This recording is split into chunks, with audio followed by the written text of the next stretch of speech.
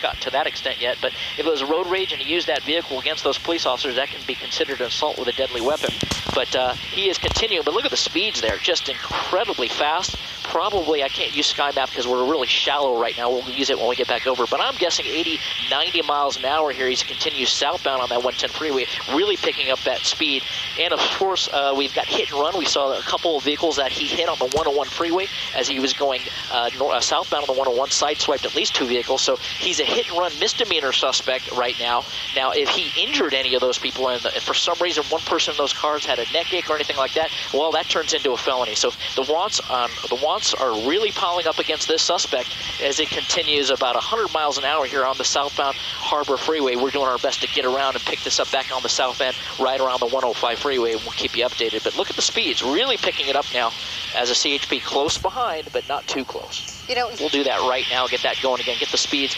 And there's your speeds, looking at about 90 plus miles per hour, much faster than we saw before. Now pushing over 100 there. We're going to keep an eye on that Boy. speed as they continue southbound here on that 101 freeway. We are approaching the 91, uh, well, let me see here. Yeah, approaching the 91 here. You can see, if you're following along, we are watching also with SkyMap 7. This is our new technology with ABC 7. You can follow along not only the speed at which that driver is going, but also in the lower left-hand corner, you can also see the streets and the uh, passes that he's uh, making his way down the highway. So right now, on the 110, headed southbound, and it looks as though he's getting closer and in the direction of San Pedro. Eventually, he'll make it there, but... I just want to remind them, if you do see this coming up behind you, use your blinkers. Make sure that you are um, looking around around before you change lanes and do so safely to move out of the way. Now, uh, it looks like this uh, this pursuit has now moved from Carson into Wilmington, continuing on that southbound direction.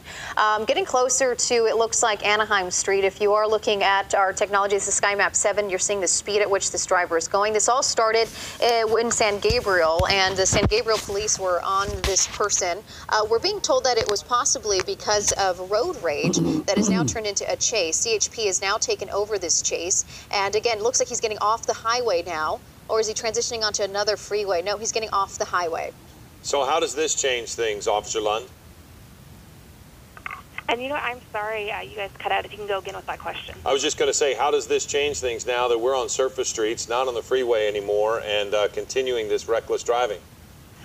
So obviously there's going to be a lot more factors we have to worry about. Obviously the lights, intersections, as well as pedestrians. So if there's anyone listening that is a pedestrian in the area, please stay off the sidewalks. Uh, move to a safe location. We really don't know what this driver is going to do. Okay. Officer Lund, thank you very much. That's CHP Officer Sierra Lund joining us now uh, to help us understand what CHP is thinking. Uh, we want to go back to JT Alpa if we can because JT is up over this. And JT, you watched this person take off uh, the freeway, uh, harsh right turn, and then now can yep. you tell us where he is and uh, from your perspective what's happening? Yeah, he's on westbound Anaheim Street in the Wilmington Harbor Park area here. He got off the freeway onto Figueroa, and then he made that westbound turn onto onto Anaheim here as we move through the area. Coming up on, uh, we'll call it Gaffey right now. I think that's the intersection right there. It's Gaffey Sky Map 7 showing us that. Coming to a stop here, we'll see if he pushes these vehicles out of the way or kind of squeeze through there. That is something we've seen him do, and he's made that turn onto northbound Gaffey here uh, we believe, well, I mean, that might be Vermont. We're going to call that Vermont right now. So we're going to be northbound Vermont at speeds of 55 plus. We'll see how fast he gets here using SkyMap 7 technology. But uh, you can see that he is uh, driving pretty erratically. Doesn't hesitate at all to get in between those vehicles. Looks like he's going to set up for a left-hand turn on Normandie or maybe a U-turn back. Uh, he's going to go westbound on Normandie here, uh, and we'll see what he does next. You can see at least four California Highway Patrol uh, vehicles here as we come northbound on Normandie, away from the area. Uh, for in pursuit right now, they're probably making notifications to both Torrance PD, LAPD, uh, Harbor Division. I'm sure is being notified. I don't see if there. Yes, there is. There is a California Highway Patrol helicopter overhead right now. We see him down below as we continue north. Going to pull back out. Just too dark to see through that tent. Well, sometimes it's difficult for them, especially with tinted windows like that, to know if there's one, two, multiple people in this vehicle. Uh, he's slowing down significantly down to about 40 miles an hour, 48, 49 miles an hour. Is that because he's coming into traffic or just navigating a little pocket there? Yeah, I'm not sure what he's doing. He's coming up on that 91 interchange uh, where you can pick up the, that 91 uh, westbound. It looks like he is going to transition eastbound on that uh, 91 here. We're going to make, make a call on that as uh, we're going eastbound there. There you go. Just had to let my pilot know there. Uh, Jason doing an excellent job negotiating other traffic, and getting us through this. But yeah, now we're going to be uh, we're going to be westbound, correction, eastbound on the 91 here from the uh, Harbor Freeway, and we'll see what he does next. The uh, whole different area for him now, so not really sure if he thinks he's going to lose the California Highway Patrol. We know that's not going to happen. He can't outrun a helicopter or a or a radio. So uh, we'll continue on this and we'll see what happens here. Continue. Whoa. Wow. Drastic change there. He's going to be getting off at Main Street. Uh, yeah, he tricked one guy. CHP, as you can see, three or four did not get tricked by that, and that's going to put him out on. Uh, Albertoni Street, which is near Main, and he's going to be going eastbound on Albertoni. He might jump right Yep, back on the back on freeway, freeway. trying to be tricky, but that's not going to happen. So uh, uh, they've seen a thing or two like this, and that's not going to happen. So uh, they're they're right with him. And again, he's not going to lose the helicopter or the radios, but uh, trying to be tricky here as the speeds increase uh, as he continues here on this eastbound 91 coming through, uh, coming up on Avalon. Well, one of the things we were talking about is what kind of vehicle. He hit the- Wow. Did Wow, he just okay, run so into a CHP right there, officer in front of him? That's that's a whole different ball game right Uh-oh. now. Well, right there, he showed a- a propensity to go at that officer's vehicle and sideswipe that vehicle. That can be considered assault with a deadly weapon Against on a a police, police officer. We all yes. saw that. That is not a good thing. And We JT, clearly we saw are, that we're was now a learning marked that. black and uh, white. Yeah, this is a, a Nissan Rogue. Want to thank uh, some of our team members here at ABC7 uh, who sent us this note here. Um, we're continuing our special coverage of this pursuit suspect who uh, started as a road rage incident, is what it's reported as with San Gabriel Police Department. At the in, in, at the outset, there was some sort of road rage incident against the San Gabriel PD, is what we're told. Ellen Leyva also is now here in studio with us as we continue our coverage here throughout the afternoon, waiting to find out what is actually going to happen here. This is on the 91 freeway, um, but this has been going on. We started about uh, 11:32 is when the first uh, discussion of this began with CHP and San Gabriel Police. Uh, following this, it has Colorado license plate on this uh, this Rogue, but we do not know if the person is from Colorado or or what. As JT mentioned earlier, uh, this could be just stolen plates that they put on this vehicle just to throw people off. Uh, but also, we're brought, bringing in Bruce Thomas. Uh, Bruce has joined us any number of times. He's a law enforcement ex- expert, 27 years in law enforcement with uh, the sheriff's department. And uh, Bruce, thanks for thanks for joining us. But here's the question: We've we've watched this guy now. He's actually attacked a CHP officer, assaulted an officer, and the, the car is a deadly weapon. Correct? That's correct. What you have is you have the San Gabriel incident, which is assault on a peace officer, a felony, and then now you have the incident with the CHP officer, an additional assault with a deadly weapon. And uh, JT, what are you seeing? As it looks to me like traffic is really starting to pick up for him. Yeah, there's a construction zone up here. We're, we're at Cherry right now. You can see that uh, he is he has crossed past the 605. We're in the area. He's getting into a little bit of traffic here. Wow. He was doing fine in that carpool lane, but he has since uh, moved out of that carpool lane.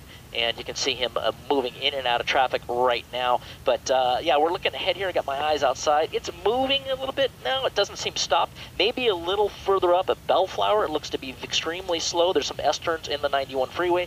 That's where it looks like it's extremely slow. But but look at this. He's got a wide open carpool lane ahead of him, and he just wants to slalom through this traffic and do this aggressive type behavior. Very very aggressive by the suspect. It doesn't seem. Uh, again, we don't know. He possibly under the influence of some kind of narcotic, but uh, it just doesn't seem like he's uh, making the best choices here, especially trying to ram that CHP officer who clearly was in a clearly marked vehicle. So it's hard to it's hard denying that he knew that was a police officer. But now it's starting to get slow. He's kind of caught up behind that Yeah. box-tail truck here, and he's going to get out to that right lane. And we'll see as he approaches Cherry Avenue, and uh, that's the Cherry Avenue off ramp. It's going to be coming into view here. But now back over to the left side here. So at the slower speeds and and uh, based on the aggressiveness of the suspect, uh, you may see a pit maneuver here if he gets into that situation here. It depends on the CHP, depends on the sur- supervisor in this pursuit, balancing what we talked about it earlier, doing that balance sense, balancing the need to get the suspect into custody and weighing the needs of the safety for the general public at large to make sure that he doesn't hurt anybody. So again, they don't know if he's a named suspect. Uh, they don't specifically know or that we've been told what the wants are other than, and we're going to be getting off here. Paramount, well, thought we There he were. goes back. I think he's going to play that tricky thing again, Philip. Thought we were going to get off of Paramount Norwalk Boulevard here is, is going to be slowing him down. We'll see what he does when he gets there. JT, we're bringing in also Ellen Leyva here, and uh, we're going to show some video too, Ellen. Yeah, we have some video. Thank you very much uh, of a side swipes earlier today. This is the problem with a with a pursuit like this. You, it's a cringe factor. And with this guy, it's definitely on because we've seen him sideswipe several cars. This is from a little bit earlier on, and just watches the white vehicle. He just uh, disregards people. Just Is doesn't that, say, matter. is that if he targeted him? Exactly. It does look like it, doesn't it? Very aggressive driver. We know that he's wanted for assault on a police officer and now a second felony assault on a police officer. He rammed that to CHP car. So a very dangerous pursuit. Awful to see this. So now we're back live again as I. Uh, okay, th- this is Bellflower, and again, m- more traffic. Uh, Bruce Thomas joining us. Uh, we've seen you. You got to see that side swipe there again, uh, Bruce, and uh, w- w- we're looking at this from Air 7 HD. And it, do you feel like we're missing it, or were we accurate in the fact that it did, did appear like he targeted him? He went across multiple lanes right at that SUV. Oh, definitely. He was definitely targeting that CHP vehicle. He's see multiple police units, CHP units in the area. What they're going to do, they're going to flood this area with with uh, patrol cars. So to send a message to this guy, you're not getting away. You are going to jail today. He certainly isn't going to get away, and we have the helicopter right on him, or right behind him, and we're watching him go at uh, what speed is he going now? I can't see. roughly 83 miles an hour. We've seen him up to 110 Yeah. at times, and uh, now into Cerritos. And uh, JT Alpa is in Air 7 HD, and uh, the SkyMap 7 is really showing us what freeway's on, uh, which is the 91, and what speeds he's at. And uh, JT. It doesn't seem he doesn't seem to be deterred by. Oh. Look at that! I mean, that Oh is. my Oh, gosh. And then now he may have Losing lost control, Oh, oh, losing he's control, losing and control. lost Lost it, and uh, spun out. So he did his own pit maneuver here. Wow. This is the Norwalk Boulevard off ramp. Hmm. You can see, we'll see if he tries to run or not. It didn't look like he hit anything, just lost control, went over the embankment here. He And has tried see, uh, multiple Cal- times to, to Yep. fool the officers behind him by doing some sort of dangerous move.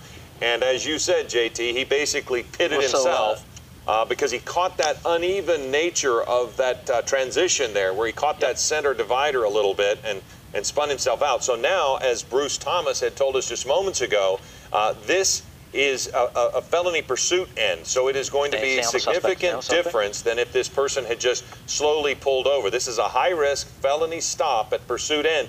And JT, I don't know if they know yet how many people are in that vehicle. Yeah, this is. Oh. Uh, you can see that right See, rear passenger opening. door opening up there, guys. Uncertain if the, the the suspect could not get out of the driver's door, maybe climb to the back seat, or there's more than one suspect. We're going to watch him to see if he runs. Uncertain if the CHP can actually see them the way they're deployed. That's probably not really visible. So we're going to try to move just in here, CHP helicopter overhead to see if he's trying to crawl out of that back JT? right door and maybe into that brush area. You Oh, can see there there he he is, is. there he You could see a person. and trying to. He's, now he's uh, looks like he's wearing a black T-shirt, jeans, and we're trying to see his hands here. Use extreme he does vision. have his we want hands to out, see his JT. hands. He Does that has his like hands out. It does not appear good. as if there's a weapon. However, it looked as if the there car. were multiple people in the vehicle. He got back into the Couldn't car. tell. Couldn't tell Philip and Les, uh, Philip and uh, Ellen and uh, Leslie if that was a possible uh, female uh, or a male. It was he was wearing a black. He or she was wearing a black shirt and had his cr- skull and crossbones on it. Uh, looked like they had dark jeans on. Uh, it didn't like. I didn't really like that posture. There's the driver's door opening up right now. Well, now Again, we're going there to see if dog it's the here. same See, person. Because there, JT, it looked like the back door opened and I had seen movement in the front seat. And Yeah. clearly that's not a possibility for a person to be in two places at once. I'm not positive, neither can the officers be positive, but what troubling moments to see the person get out of the car and then get back in.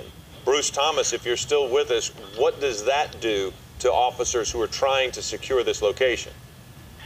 Well, that just heightens the sensitivity of the Stay there for a officers knowing that you probably have more than one person in this vehicle and that they're not willing to surrender right away. You can see some movement in the car through the sunroof, but the officers are Oh. going to make sure they have plenty of personnel there, safe the area, flood the area, so if it does turn into a foot bail, Now they're running they on flood. can maintain They're moving through the visual bushes. contact and take them into custody. But in Yeah. this case, what you have right now is someone that is not willing to give themselves up. We have Okay, someone Bruce, wa- hold running on. through the bushes right now. Uh, looks to be a male. Uh, Crawled out the window instead of opening the door.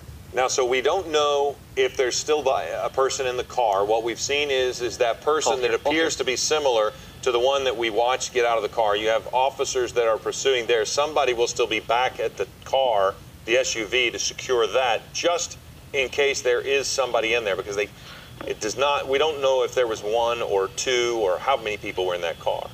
Okay, You know- guys, if you're if you're with me, the suspect is behind that tree. We saw him run. Mm-hmm. The air, uh, the helicopter overhead advised the officers where he was and what he was doing. They did deploy a canine into that area. There was a canine underneath that tree. We're going to push in, Jamie. They are making contact with the suspect. Unless he hopped that wall, which is, remains to be seen, it appears that they're making contact with the suspect right now with the canine. He is being taken into custody. We're being told underneath that tree, so we will see him come out here shortly.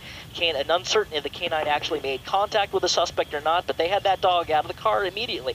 He tried doing the okey doke, right? So he tried crawling out that back window again. You can be assured right now that officers, a, s- a clearance team, is clearing the car right now. Yeah, that's a good angle right there, Jason. As we continue in, you can see the suspect right up against that wall. We're going to use extreme vision to show you him being taken into custody. It does not appear he or she, uh, it is a male, wearing that black t-shirt. Hold right here, Jason. This is good. Blue jeans. They're searching him for weapons. He seems to be erratic, but he mm-hmm. tried doing the old okey dokey, getting out that right rear door where the officers couldn't see him. But you can be rest, you can rest assured that air, that air uh, asset, the helicopter, saw him get out that window, saw him crawl, saw him run. He was he was doing the old scoot across the ground, trying to get through that brush and try to get in the clear, but that didn't that didn't work out. Obviously, watch your exposure, Jamie, as they take him into custody here and walking him back to the car. CHP has cleared the car, or is in the process of clearing the car to make sure there's no additional suspects in it. Yeah, do we know that? Do we know that information yet? If there's anybody in that car? Well, the, we're gonna as soon as we're gonna walk him back here, we're gonna maybe move back to where we were, Jason. We're gonna see if that car has been cleared. We can tell by the pull out a little bit, Jamie. We can see that car off to the left there. Yeah, they're standing around that car. They're not in a tactical stand, so more than likely that car has been cleared. So that was that one suspect, Philip, jumping around in that car. Maybe he couldn't get out of that driver's door because it was uh, it was up against that dirt and that